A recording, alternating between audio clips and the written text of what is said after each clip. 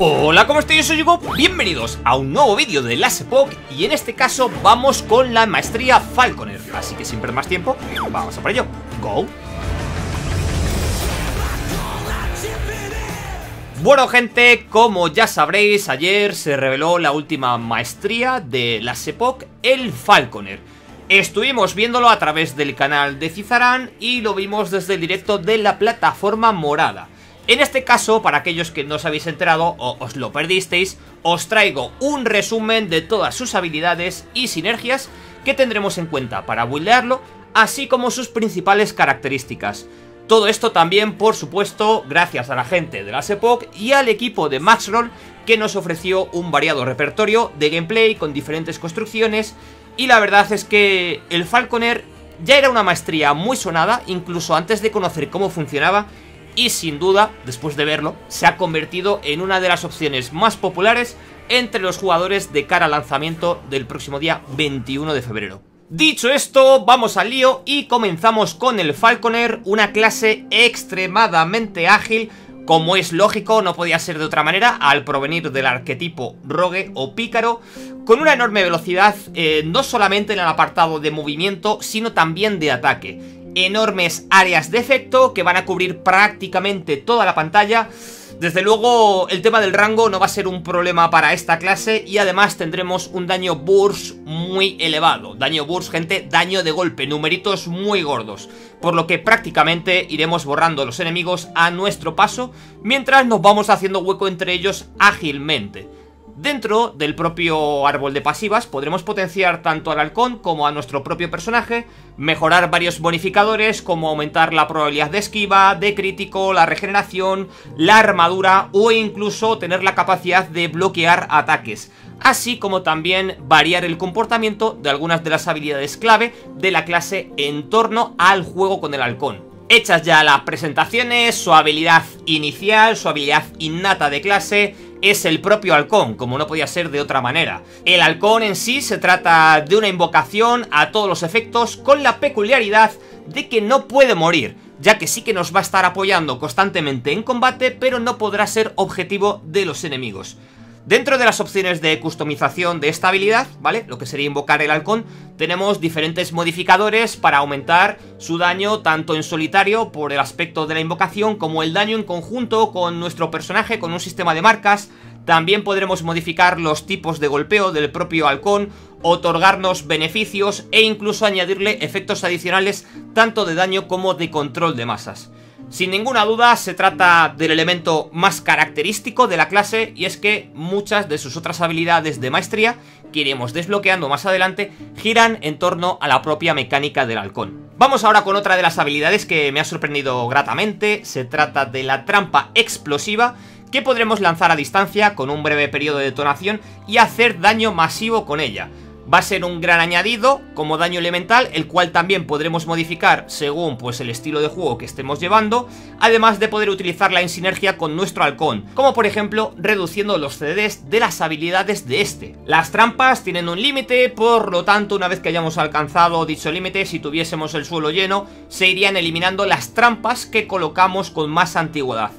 Debo decir que en general, en este tipo de juegos no soy demasiado fan del sistema de trampas, pero la verdad que la forma en la que han implementado esta habilidad hace que se sienta con una jugabilidad muy ágil, muy dinámica, lo cual me ha gustado mucho, me ha llamado mucho y es que la podremos utilizar para ir haciendo runs rápidos de mapeados, acabando con todos los enemigos a nuestro paso e incluso con algunos enemigos que se vayan quedando rezagados que simplemente irán muriendo mientras nos van persiguiendo. Pasamos a la siguiente habilidad, gente, sería la red, la cual se trata de una herramienta utility que cuando lancemos dicha red, nuestro personaje va a saltar ligeramente hacia atrás. Se trata también de una habilidad muy interesante porque vamos a poder potenciar diferentes estilos de juego, ya que dependiendo de cómo la customicemos, pues podremos otorgarle efectos añadidos de hemorragia, eh, ponerle múltiples efectos de control de masas para inutilizar a los enemigos, así como la capacidad de aumentar nuestro daño tanto de forma global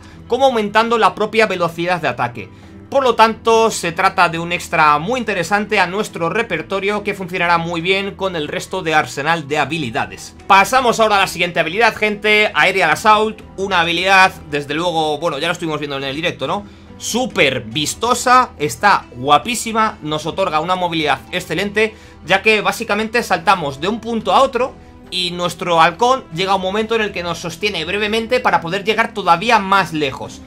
Además, a la hora de customizar esta habilidad, se trata de una herramienta también súper flexible, como realmente todas las opciones que estamos viendo en el halcón, lo podemos modificar mucho en torno al tipo de juego que queramos tener. Esto la verdad es que me ha encantado. Pero en concreto, eh, Aria Assault se trata de una habilidad muy flexible, porque la podremos buildear tanto más enfocada al propio halcón, como en sinergia con nuestras capacidades de tirador o de trampero, o incluso también pues otorgarle efectos defensivos como recuperar vida, que nos pueda otorgar barrera, si es que tenemos un estilo de juego más agresivo, como por ejemplo, me encanta porque es mi caso. ¿Qué más le podemos pedir a esta habilidad? Si es que es un todo en uno.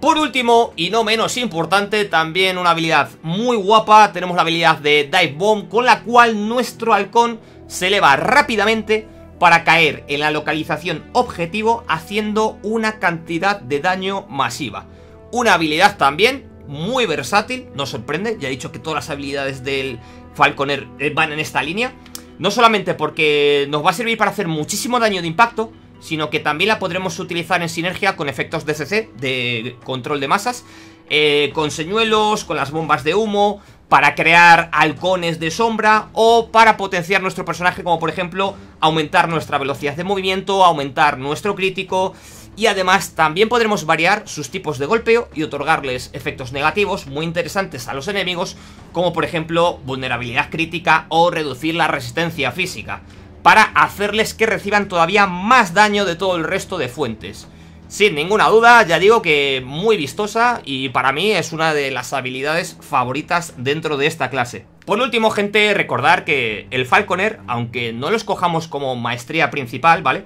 Podemos acceder a varias de sus pasivas y habilidades activas de las iniciales eh, desde las otras clases dentro del mismo arquetipo. Esto sería el caso, por ejemplo, de la trampa explosiva y de la red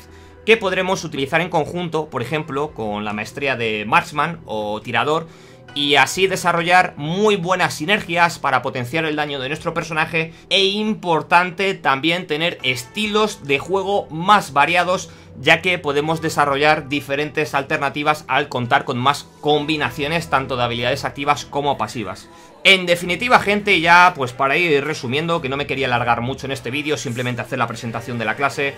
Creo que se trata el Falconer de una maestría que pinta increíble, eh, tanto en el apartado visual como luego en el desempeño que tienen las habilidades dentro del propio juego. Por mi parte, eh, ya tenía bastante hype con esta clase, sabía que me iba a molar, creo que ha cumplido con creces las expectativas y diría que incluso las ha superado un poco. Me gustaría que me digáis en comentarios qué os ha parecido la clase a vosotros, si os ha molado, si teníais intención de jugarla, si finalmente después de ver cómo funciona la vais a jugar en el lanzamiento y por supuesto, pues no olvidéis dejar vuestro like, suscribiros al canal para no perderos nada relacionado con las Epoch y ya sabéis que cualquier otra duda que os haya podido quedar eh, respecto al juego o respecto a la clase Falconer me las podéis hacer llegar a través de la plataforma morada donde estaré streameando en mi canal Yugo con 3y barra baja tv.